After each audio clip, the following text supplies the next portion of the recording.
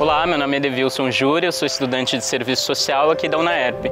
Eu escolhi o curso de serviço social porque eu comecei a trabalhar com teatro em projetos sociais, em ONGs, e aí eu pude ter o contato com a profissão, com profissionais referente ao serviço social, e aí eu fui conhecendo um pouco da área e falei assim, ó, vou pesquisar sobre isso.